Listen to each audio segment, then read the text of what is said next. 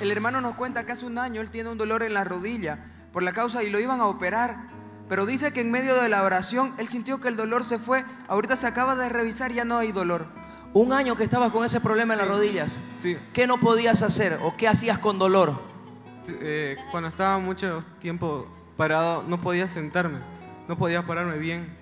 Tenía que estar con la rodilla doblada para no sentir El dolor era continuo. Sí, ¿Qué te habían dicho los médicos? que eran los meniscos que me, tenían sí o sí que operar.